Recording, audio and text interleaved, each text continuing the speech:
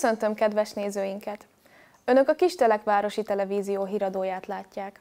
Kérem, tartsanak velünk, és tekintsék meg rövid képes ismertetőnket.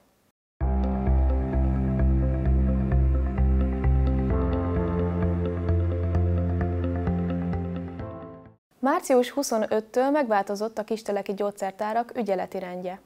Az átalakulásról a Kígyó és a Szent Imre gyógyszertárak vezetőit kérdeztük. Az elmúlt időszakban megváltozott a patika, ügyele, patikák ügyeleti rendje. Hogyan változott, illetve a lakosság hogyan tud erről értesülni, hogy mikor melyik patika az ügyeletes? Az ügyeletben annyi változás történt, hogy az orvosi ügyelethez igazodik most már a patika ügyelete is. A kisteleki orvosi ügyelet az hétköznapokon 4 órától 22 óráig tart, és a gyógyszertári ügyelet pedig a 7 órai zárást követően kezdődik, és 22.30-ig tart az ügyelet. Ez azt jelenti, hogy fél órával tovább, mint a házi orvosi ügyelet. Erre azért van szükség, hogy az utolsó beteg is még kényelmesen át tudjon érni a gyógyszertárba, és ki tudja váltani a fölírt gyógyszereket. Hétköznapok azok ennyiben változtak, a hétvégék pedig úgy alakultak, szintén az orvosi ügyeleti rendhez igazodva, hogy 8 órától 14 óráig van orvosi ügyelet, a gyógyszertár pedig gyakorlatilag 8 órától, vagy gyógyszertárak 8 órától 14.30-ig ügyelnek. A szombati napon nyilván a nyitvatartási idő beleesik, ami délig van, más patikában egy óráig, és utána pedig ügyeleti rend van. Ez azt jelenti, hogy csöngetésre itt vagyunk a, a gyógyszertárban, és kiszolgáljuk a betegeket, vásárlókat. Szintén ez a helyzet a hétvégéken is, hogy 30 perccel tovább tart a patikai ügyelet, ami arra elegendő, hogy kényelmesen az orvostól a patikába eljussanak, és még az utolsó beteg is ki tudja váltani a gyógyszerét. Ha ezután történik bármi, akkor orvosi ügyeletért is Szegedre kell, hogy ellátogassanak a betegek.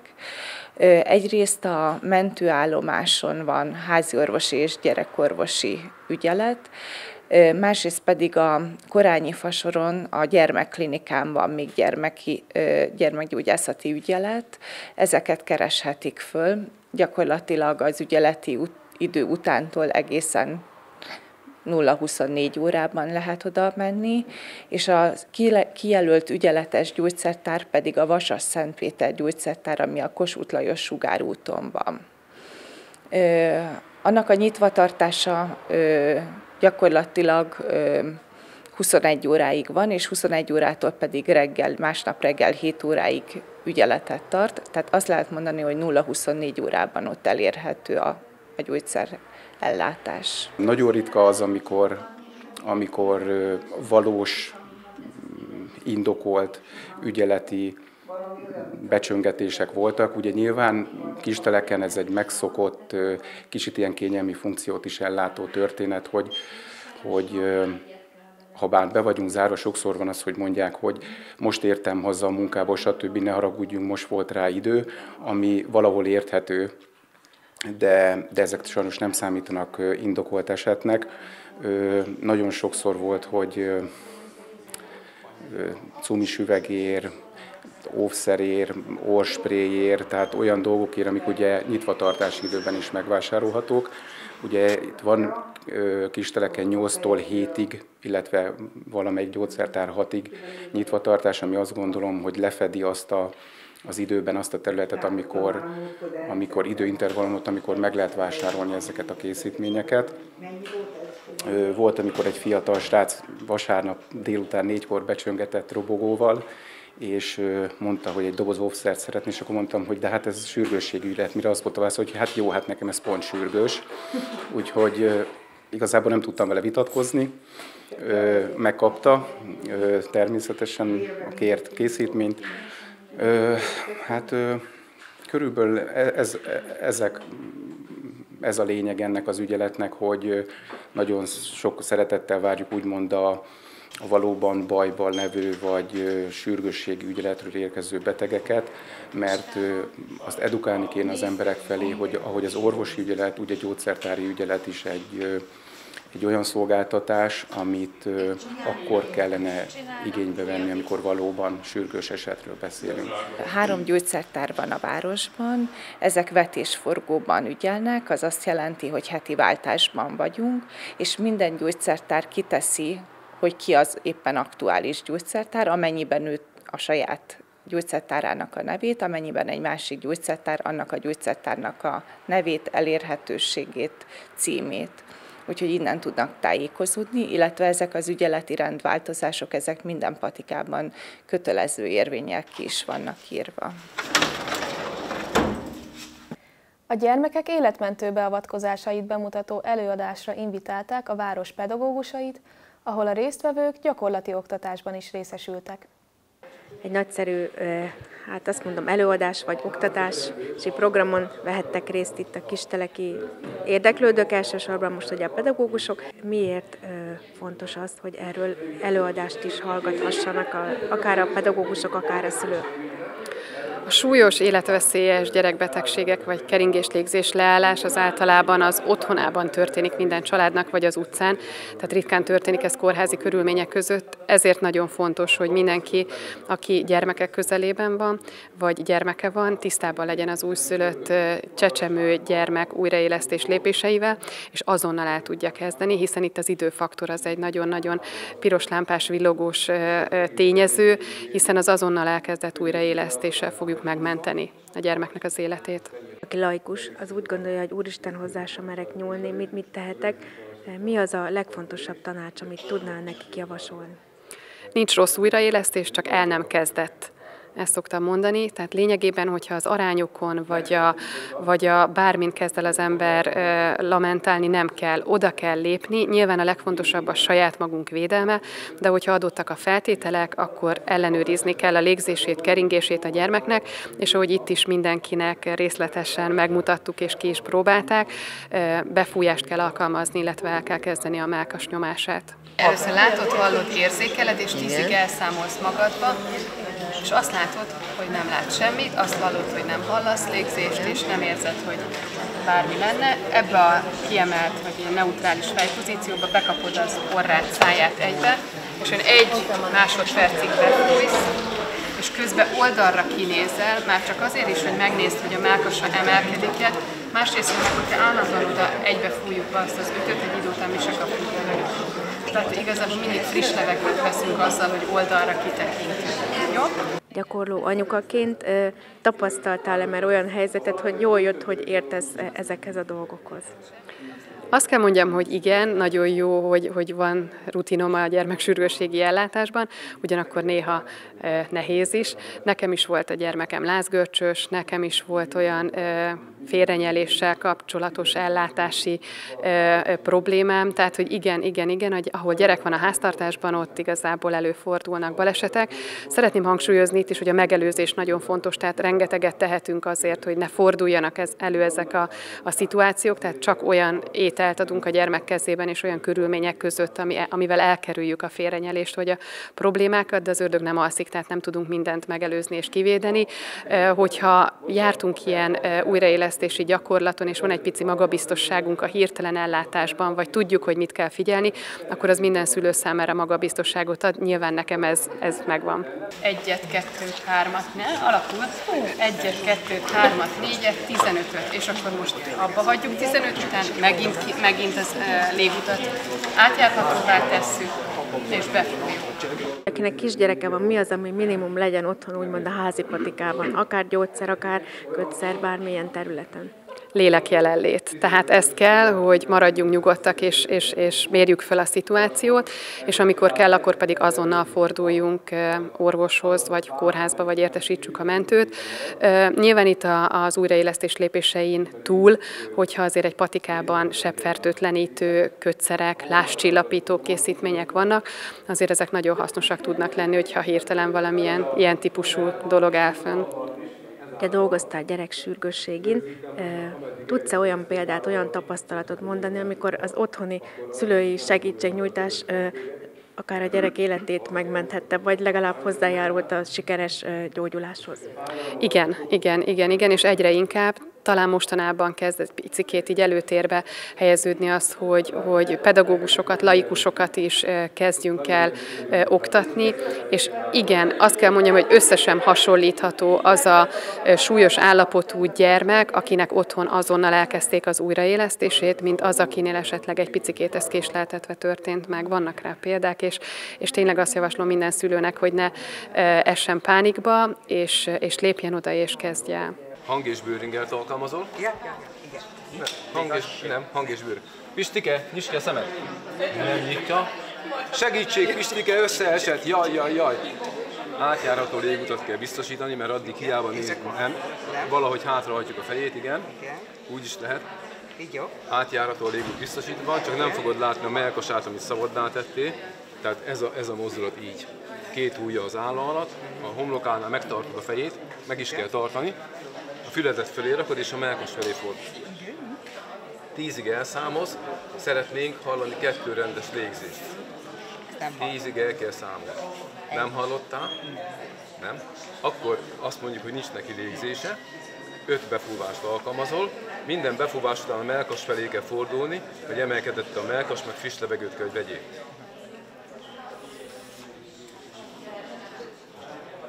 Egy befúvás, egy másodperc. Úgy látjuk, hogy ha emelkedett a melkas, nagyon jól csináltad. Öt befúvás után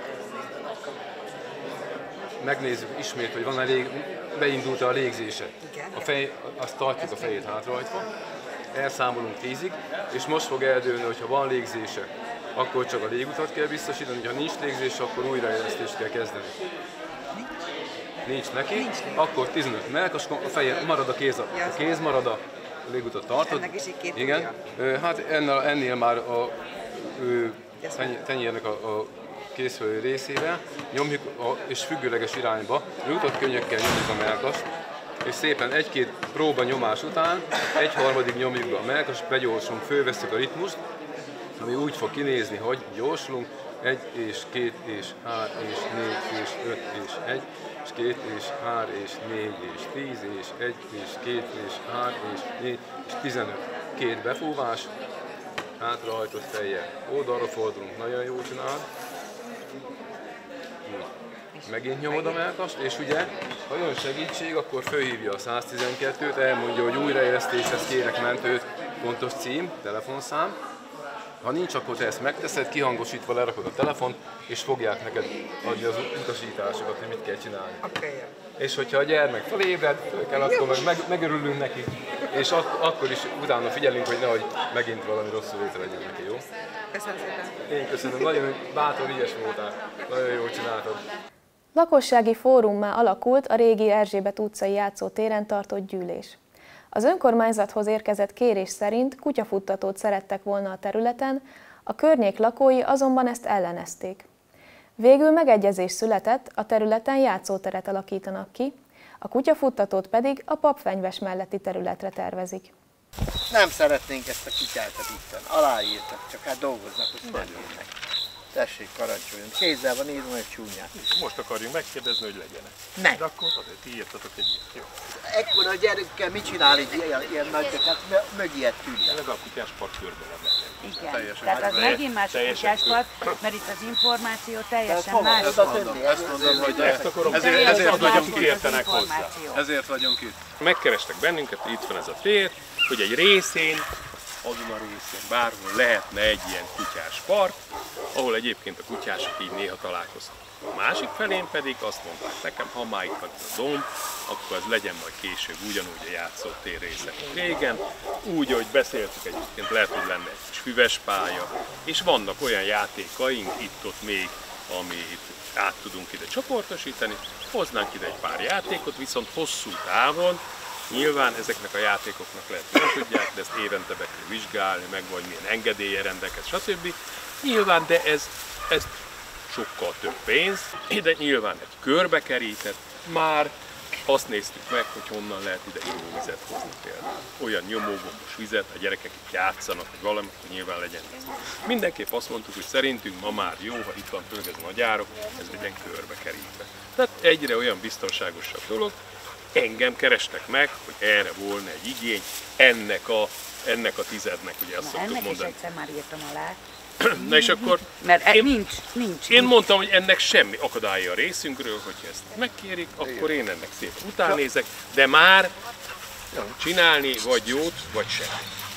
Kedves kutyások, van-e ilyen igény, vagy hány embert érintett ez Kiskeleten? kutyák érdekében szocializálni nagyon jó őket, hogy van egy körbekerített rész. Hogy itt hiába hozom ide a két kutyát, itt attól félhetek, egy nem annyira tanult kutyánál el fog szaladni.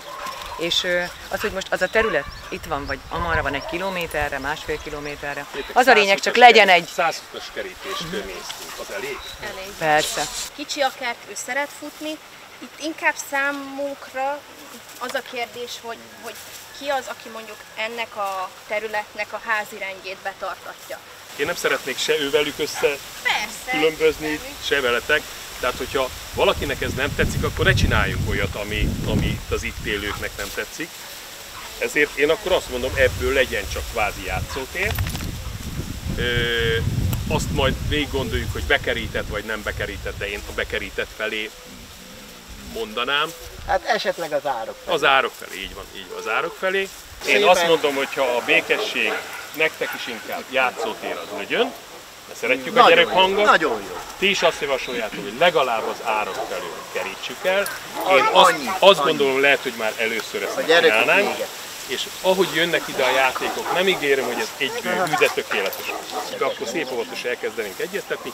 Mi meg így a játszó terecskét, így, ahogy beszéltük, akkor elkezdjük. Jó? Akkor én ennek örülök. Hogyha mindenki mög elég, itt a fővezér? Nem, nem, nem. Én csak, én csak engemet bújtottak föl, ott én vagyok Nagyon a... szépen köszönöm. Engemet Szidjás Anyi bácsi, jó? Öreg betyár vagy is. A megbeszélésnek kicsit másabb lett az eredménye, mint eredetileg eh, tervez, tervezett volt. Eh, Mit mondhatunk, mit tudtunk meg, eh, mi történt itt? Egyrészt köszönöm azoknak a lakosoknak, akik hallottak erről és foglalkoztak ezzel a történettel.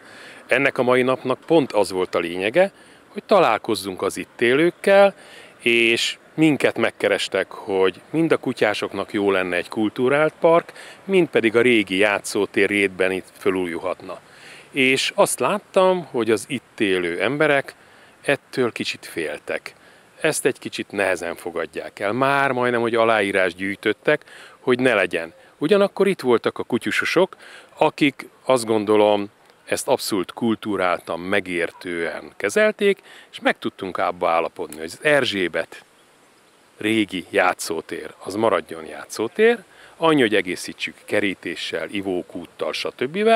És az nem baj, hogyha a papfenyves mellett hozzuk létre azt a kutyásoknak szóló parkot, játszóteret, ami egyébként már közvetlen lakos nem érint.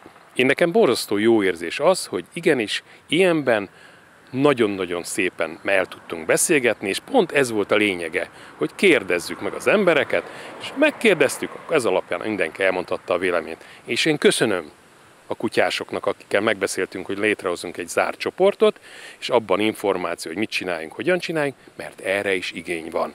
És az a kisváros akarunk lenni, ahol mindenki a maga kis részét megtalálja benne, úgyhogy én tényleg csak köszöntet mondok valamennyi résztvevőnek, és ezzel párhuzamosan itt elindul akkor a játszótér építése. Miért fontos, hogy legyen egy kutyafuttató itt a településen? Jó ez a pórázon sétálás, én is nagyon szeretem, de az én kutyámnak is nagyon nagy futásigénye van, és jó volna egy olyan lekerített terület, ahol ezt meg tudjuk tenni, és nyilván egyéb más kutyabarátok is ott tudnak lenni, és, és tudjuk szocializálni a kutyáinkat. Nagyon sok ilyen volt már, hogy így kutyások kutyafuttatóban, utána kutyaiskolában, stb. így összetalálkozgattak, és utána egy egész jó barátságok szoktak kialakulni ebből, úgyhogy ilyen szempontból is egyébként jó lehet ez. Szabad területen nem biztos, hogy be tudjuk hívni a kutyát, de viszont egy kutyafuttatóba a kutya meg tudja tanulni azt is, hogyha behívja a gazdája, akkor visszamegy hozzá, utána akár szabad területen is nyilván el tudja majd engedni, mert a futtatóba, hogy ő megtanulja rendesen, egy zárt területen, úgy nyilván könnyebben tudnak majd sétálni. Családi sportnapot tartott a Kisteleki Testedző Egyesület. A délutánon szülő-gyerek foci meccsek zajlottak, a bográcsos mellett pedig az Egyesület egy hoddogra is megvendégelte a gyerekeket. Miért tartottak, kite fontosnak, miért tartottátok fontosnak, hogy egy családi napot rendezzetek? Ezt már nagyon régen fontosnak tartottuk, azért ez már nagyon sokadik családi napunk. Úgy gondoljuk, hogy a gyerekeket a szülők mindig eddig csak kihordták az edzésre, és utána elmentek haza, és igazából nem látták, hogy mit csinál a gyerek. Egy-egy meccsre, ha kijöttek, akkor megnézték, hogy hogy fejlődik a gyerekük, de azért mégse úgy, mint mikor testközelből látják. És akkor kitaláltuk azt, hogy miért ne lehetne a szülőket is meghívni egy ilyen közvetlen családi napra, és akkor játszhatni is egymással az, az apa szülő a, a saját gyerekével. Úgy gondolom, ennek egy, van egy kis pikantériája, és ez nagyon bevált. Ez már szerintem a hatodik vagy a nyolcadik családi napunk, és azt látjuk, hogy erre mindig igény is van, mert már kérdezgetik mindig, hogy, hogy indul a jó idő, hogy akkor mikor lesz ilyen, és van nekünk egy ze- szezon záró családi napunk is, és most már megcsináltuk azt, hogy egy szezonban kettő van. Van egy indító, a tavasz, meg egy ősszel egy másik. És ez azt látjuk, hogy működőképes, nem is próbáljuk, hogy ezt ne menedzselnénk ki tovább. Ilyenkor mindig a polgármesternek van lehetősége megköszönni nektek gyerekeknek, nektek szülőknek, hogy van kisteleken jó színvonalú foci. És az, hogy jó színvonalú, azt megköszönöm a kite vezetésének, hogy ilyen pálya van, ilyen körülmények vannak, és a gyerekeknek tulajdonképpen majdnem csak, hogy szeretni kell focizni, és a többi az mind megteremtődik. Ezért Robi, nagyon szépen köszönöm valamennyi őtöknek, neked, valamennyi edzőtársadnak, meg segítődnek, mert igazán büszkék lehetünk arra, hogy a gyerekeink szép körülmények között mozoghatnak, edzhetnek. Ugyanakkor nektek is köszönöm külön szülők, hogy ti is fontosnak tartjátok, hogy nem csak U14, meg U16, meg U, stb. stb. csapatok vannak, hanem van egy nagyobb csapat is, ami a szülők, a gyerekek és a kite együtt jelent, és nektek is fontos az, hogy egy ilyen alkalommal egy kicsit, majdnem, hogy mondtam azt, hogy fehér asztal mellett, de asztal mellett egy kicsit a gyerekeinkkel együtt mégiscsak beszélgethettek, együtt lehettek. Szerintem nagyon fontos, úgyhogy ezt külön köszönöm, hogy ti is fontosnak tartjátok, meg ti is szülők, hogy a gyerekeinket igenis elkísérjük ilyen helyre és együtt lehessünk. Ilyenkor pedig mit kívánt az ember? Sikeres évet? Balesetmentes évet? De mégis talán legjobban ezek mellett az, hogy szeressetek itt lenni, szeressetek focizni, Szeressétek azt a csapatot, amiben vagytok, és küzdeni tudtok egymásnak. Csapatjáték, tudjuk, az, az sokra nevel. És arra is nevel, hogy a másik is fontos, nem csak én. Úgyhogy ebből az alkalomból persze egy szép délután, de leginkább, ami szezon már elkezdődött, egy nagyon szép folytatást, sok sikert mindannyiótoknak, de még egyszer legfontosabb, hogy szeressétek a focit. Hajrá kistelek, köszönöm szépen!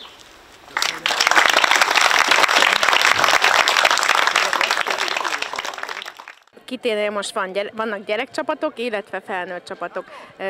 Hány gyerek, illetve felnőtt focizik nálatok? Hát összesen gyerekből 152 igazolásunk volt a múlt héten, de napi szinten szaporodnak, mert óvodásokat mindig toborzunk, és mindig, mikor elérik azt a korhatást, hogy, hogy le tudjuk őket igazolni, és, és versenyengedélyt tudunk nekik csinálni, elkészíteni, akkor mindig szaporodik. Tehát ilyen 150 körül van. Hát a felnőtteknél meg ott egy 22-24 fővel vagyunk, és ez a két korosztály teszi ki, úgymond, tehát 8 korosztályunk van, de a gyerekek azok U19-ig bezárólag hívjuk gyereknek őket, utánpótláskorúaknak, és van az elnő, a, a felnőtt csapat, ami a, az Egyesetnek a kirakat csapata, ami most a megye négybe szerepel, első helyen vagyunk, szeretnénk osztályt váltani, megye háromba, és onnan meg talán még sikerülne fölfele is, de az még a jövő zenéje, mindig csak mindig egy kicsit-kicsit nézzünk előre, hogy reálisan tudjuk a, a céljainkat elérni. Mit tudhatunk a Bozsik programról, mi ennek a lényege, és hogyan zajlanak az edzések? A Bozsik program úgy van már egy három korosztályos megmérettetés, U7, U9, U11-es korosztálynak van feltéve. Az U7-es korosztályban játszanak 2008-2019-es gyerekek, a, az U9-es korosztályban játszanak a 14-15-ös gyerekek, és a 11-es korosztályban játszanak a, a 12-13 éves 2013 születésű gyerekek. Az U7-es korosztályra azt kell tudni, hogy az U9-es korosztályban egy fesztivál van. Egy Funinyó játék, egy érközés játék, a Funinyó játék azt akar, hogy négy kapus játék van. Bocsánat, a szülőkkel játszottam egy kicsit az légek ennyire. Négy kapus játék van, van egy büntetőzóna, ahonnan gól kell szerezni. A mérkőzés játék U7-ben 3-3 ellen zajlik, nincsen kapus. Az U9 pedig a mérkőzés játék 4 plusz 1-es, 4, 4 plusz 1-ben zajlik, az U11-es korosztályban már 6 plusz 1 van, ott már van kapus, gyerekek ezt élvezik. Én azt mondom, ennek a Bozsik programnak inkább ilyen tömegesítése van. Tehát a gyerekeknek, hogyha nem is olyan tehetséges ez a gyerek, de szeret focizni, adni kell lehetőségnek a Bozsik programba. Amikor már mérkőzésekre megyünk a szektornákra, akkor már ott nyilván az ügyesebb korosztályt visszük, de, de aki, aki tényleg csak a haverok miatt jön, annak egy nagyon nagy érvágás, hogy kap egy, vagy egy nagyon jó érzés, hogy kap egy oklevet, mert minden csapatból kiemelnek egy játékost, egy csokit kap.